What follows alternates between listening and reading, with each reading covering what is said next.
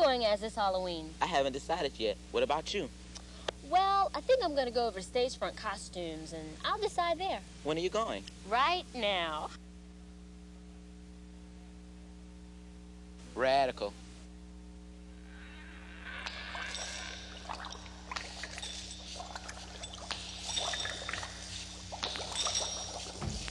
It's a fun place to visit even if you don't want to rent anything or buy anything because there's always something that you won't find someplace else in town in here.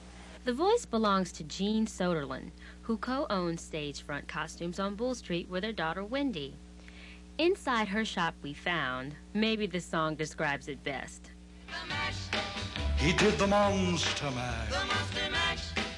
It was a graveyard smash. He did the mash.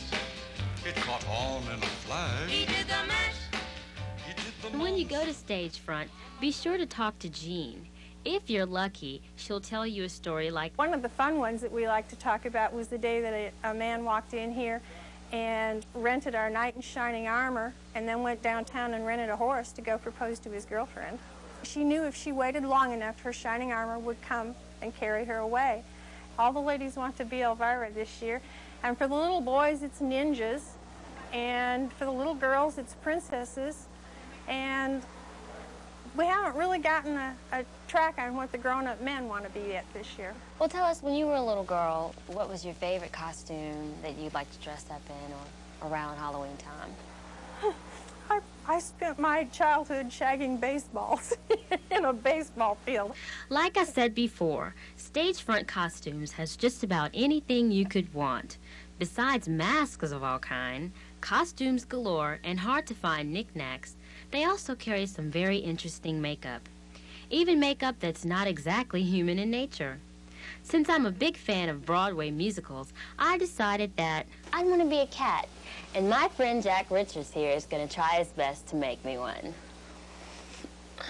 Putting on makeup is a lot like painting.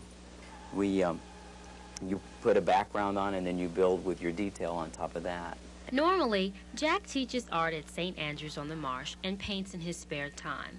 He got into makeup design through local theater groups where he started out as a set builder. When you're approaching a, a face, it's, it's similar to a canvas that I would approach in, in painting a painting for art, but it's a three-dimensional form. It's, it's got curves and shapes, and then you just have to learn to adapt to um, painting on a, on a form like that. These are eventually going to be stripes, but I have to put them on first and then blend them.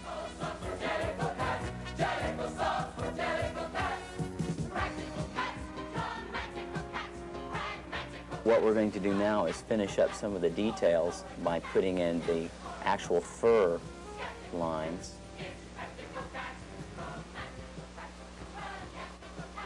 And that's about it. Now that my face is made up, it's time for the costume to match.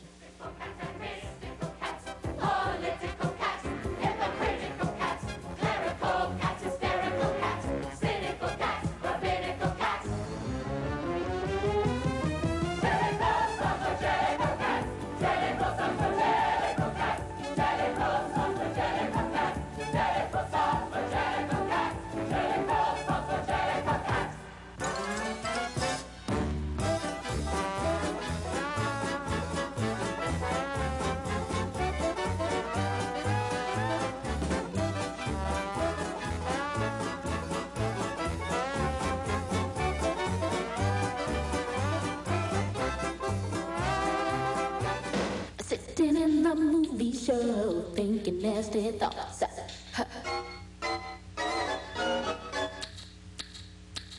I better be a gentleman or you turn me off. That's right. Let me tell it, nasty. Nasty boys. I don't need